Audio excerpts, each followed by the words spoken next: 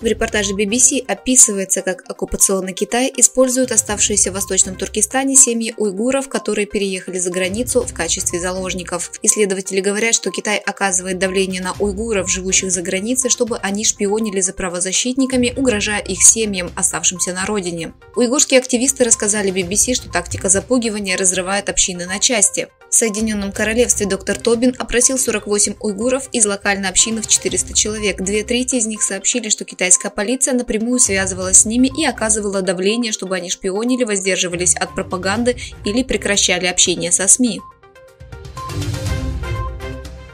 2019 года установка в Восточном Туркестане технологии распознавания лиц в камерах видеонаблюдения, особенно в камерах производства Hikvision, подверглась резкой критике на международном уровне. Hikvision объявила, что прекратила использование таких технологий из-за давления. Но контрактные документы, недавно полученные исследовательским центром IPVM в Пенсильвании, показывают, что китайское правительство продолжает использовать такую технологию распознавания лиц против уйгуров. Производственная активность Китая в июле выросла с 49,3 до 49 пунктов, но осталась ниже пределов 50 пунктов, которые отделяют рост от сокращения.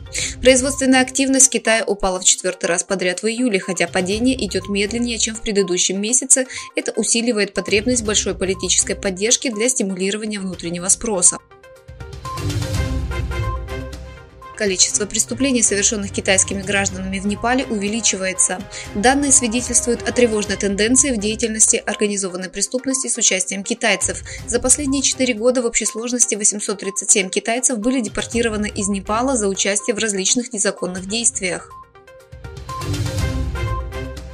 По меньшей мере 44 человека погибли и 200 получили ранения в результате взрыва террориста-смертника во время митинга исламистской политической партии Джамиат и Улема и Ислам Фазиль в Пакистане.